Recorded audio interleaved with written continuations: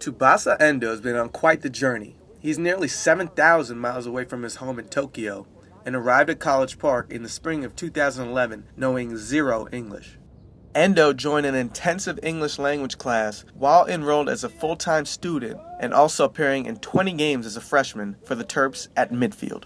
It was actually hard for me to adapt to new environment, and but my teammates are like really, really nice and one of like Shin, Alex Shinsky and Metzger will help me a lot.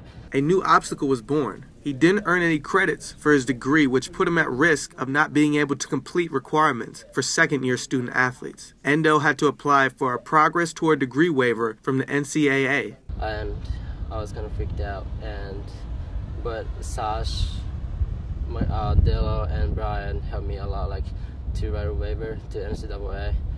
Tsubasa Endoh couldn't practice with the team in the spring and summer sessions leading up to the 2013 season as the NCAA took their time with the request. However, on August 29th, he did receive the good news that he was able to play. And as soon as he found out this news, he rejoined the team, flying himself to Pasadena for the season opener at Stanford. His play on the field has been making noise, starting all but one game last season and coming on strong in the College Cup. Need to put that away. Here's a shot at a goal. Endoh answers, and it's tied at one. On the field, his play is just blossoming, uh, you know, virtually every day. Uh, we just came back from a, a European tour where he was uh, one of our standouts. Due to last year's leading goal scorer Patrick Mullins leaving for the MLS, Coach Cirovski will have to rely on Endoh more for putting the ball in the net.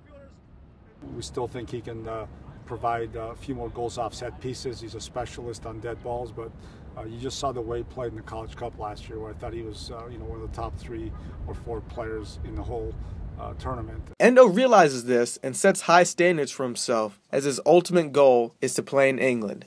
But I want to um, play on a foreign country. Like, eventually, I want to go to England and then play in the Premier League. So, I mean, that's my final goal. In College Park, I'm Kevin Chin for Terrapin Timeout.